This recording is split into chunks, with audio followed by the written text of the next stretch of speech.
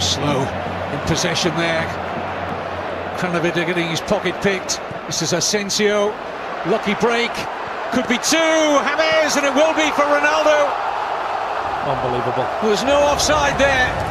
Cristiano Ronaldo's 400th goal in all competitions for Real Madrid as we approach the midway point of the first half. And Zidane and Real Madrid are doing exactly what they need to do tonight. They're heading for all three points, it would seem. What's the anticipation of Marco Asensio? He's done this two or three times in the game already, Kevin.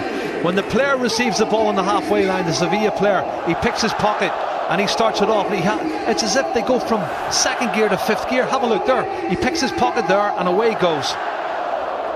Just a burst of pace, and then Asensio has the shot. It's blocked, falls kindly on his right foot. Keeper makes a really good save from James and Ronaldo. Well, they're all in a hurry to score goals. There's loads of goals in this team, really is. And that's a good, really good save from the goalkeeper Sergio Rico, but he's unlucky the rebound falls to Ronaldo. And that's goal number 36 this season, Kevin. 21 in the league. Am I being harsh? Could Sergio Rico have got a stronger hand to that? Maybe got it out of the reach of Ronaldo? Well, that's what you say about pushing it around the post. He's only a 23 year old goalkeeper who's still learning, but